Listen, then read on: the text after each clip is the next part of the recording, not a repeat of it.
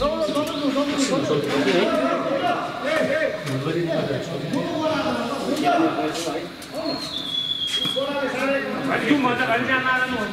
चाहिँ हामीले जुन चाहिँ पुरानो कोट थियो स्यान्डको थियो यसलाई चाहिँ हामीले रिफर्बिस गरेर अहिले यो सेन्थेटिक हार्डकोट बनाइयो।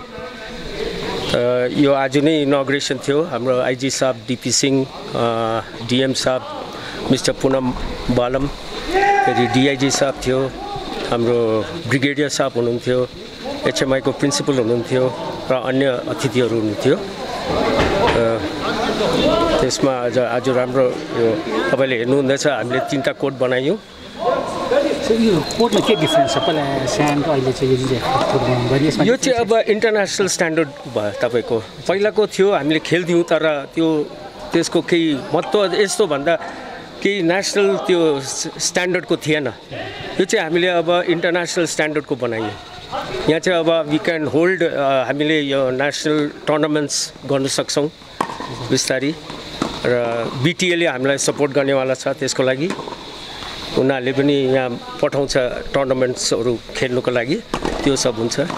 कोड के यो नर्थ इस्टमा यो पहिलो पल्ट यस्तो कोड जुन चाहिँ बनिएको छ तपाईँहरूको जिमखानाद्वारा। हजुर। त्यो कोड अरू कहाँ कहाँ बनिएको छ यस्तो? त्यो तपाईँलाई यो छ हाम्रो बङ्गालमा झन्डै छ निकै छ। कलकत्तामा त पुरै छ। जस्तो अन्य पुरा यो जस्तो स्याटेड क्लब भयो साउथ क्लब भयो होइन?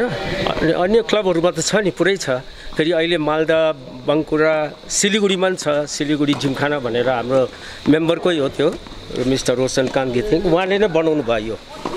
उहाँले नै कन्ट्र्याक्ट यो सब जति पनि यो बनाउनु भयो उहाँकै अन्डरमा भएको थियो यो काम।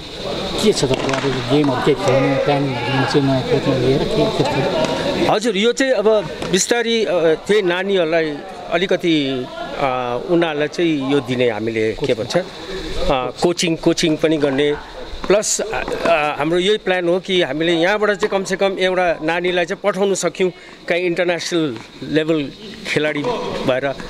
उहाँहरूलाई एउटा त्यो दिनु सक्यो भने चाहिँ will be achievement for the club कसरी रेजिस्ट्रेसन कसरी गर्नु सक्छ नानीहरू? यदि जोइन गर्नु छ भने यो अहिले चाहिँ फिलहाल त्यो सब गरेको छैन रेजिस्ट्रेसनको हजुर। अहिले यो प्लानिङ मात्रै छ प्लानिङ स्टेजमा अहिले केही भएको छैन त्यसको विषयमा। बिस्तारी मेबी अब महिनाभरिभित्रमा विल वर्कआउट समथिङ